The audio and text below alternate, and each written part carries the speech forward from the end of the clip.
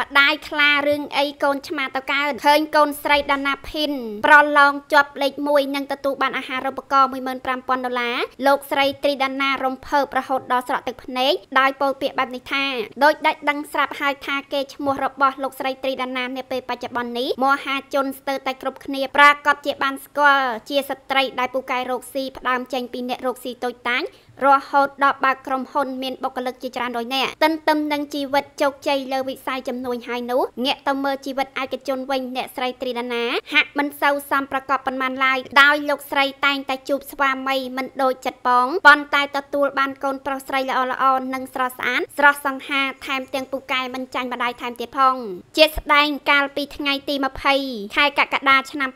2022ដាណាភិនកូនស្រីតែម្នាក់របស់អ្នកស្រីត្រីដាណាបានចូលរួមប្រឡងនិយាយភាសាអង់គ្លេសរបស់សាលា Belty អន្តរជាតិធ្វើឲ្យមហាជននាំគ្នាកោតសរសើរពីសមត្ថភាពប្អូនស្រីជាខ្លាំងនៅពេលនោះដោយនិយាយលះលះច្បាស់ច្បាស់និងរអិលដូចជាជនជាតិដើមរហូតទទួលបានជ័យលាភីលេខ2ទទួលបានអាហារូបករណ៍ពីឆោមាសនិងទឹកប្រាក់200ដុល្លារនេះសំជាម៉ែខ្លាកូនខ្លាមែនហើយនៅពេលនោះគេឃើញលោកស្រីបានបង្ហាញអារម្មណ៍រីករាយយ៉ាងក្រៃលែងដោយឡែកនៅពេលនេះអ្វីដែលធ្វើឲ្យលោកស្រីសប្បាយចិត្តកាន់តែខ្លាំងនោះគឺកូនស្រីតែម្នាក់គត់របស់លោកស្រីបានចូលរួមប្រកួតប្រជែងសារជាថ្មីរហូតជាប់ចំណាត់ថ្នាក់លេខ1ក្នុងកម្មវិធីប្រកួតប្រជែងដេញដោលភាសាអង់គ្លេសរដូវកាលទី1ជាមួយនឹងការទទួលបានអាហារូបករណ៍15000ដុល្លារនោះនៅថ្ងៃទី8ខែកញ្ញាឆ្នាំ2023នេះលោកស្រីត្រីដាណាបានបង្ហោះវីដេអូរបស់ខ្លួនទៅចូលរួមនិងស្ដាប់លទ្ធផលប្រឡងរបស់កូនស្រី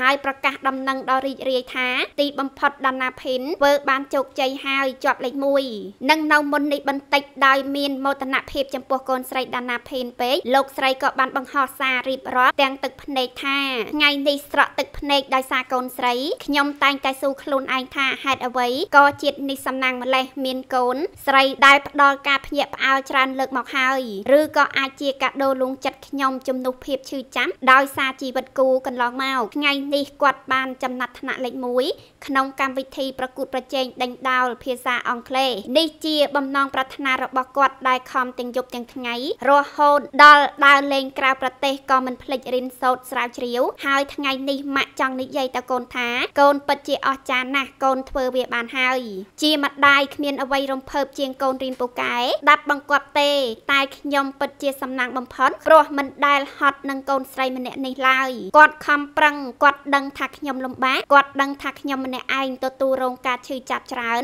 គាត់តែងតែផ្ដល់នៅការរំភើបដើម្បីជាការលួងលោមមកវិញម៉ាក់អរគុណកូនណាស់សង្ឃឹមកូនប្រុសទាំងពីរនឹងដើរតាមគំរូកូនស្រី